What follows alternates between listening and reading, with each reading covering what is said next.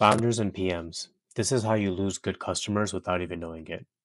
Imagine a support ticket comes in and it's from a VIP user, but it gets buried and no one responds for three hours. And suddenly, that loyal customer, they're asking for a refund, or worse, they're tweeting about it. This is what slow support really costs you.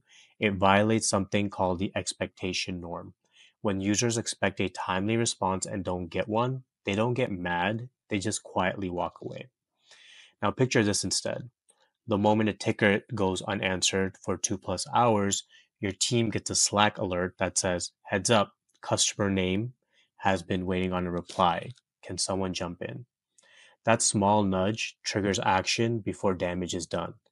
And it works because of a principle called neglect aversion. We're wired to respond faster when we think someone's being unintentionally ignored. Here's a ChatGPT prompt that you can use to generate an alert similar to that. Write a concise Slack message letting the support team know that customer name has had a ticket open for over two hours. Keep it polite but urgent and ask someone to follow up ASAP. You can plug that into your n8n and Slack flow, and now your system catches issues before they become cancellations. If you want the full flow and copy that prompt for your team, subscribe to the YouTube channel and we'll break down the automation step by step.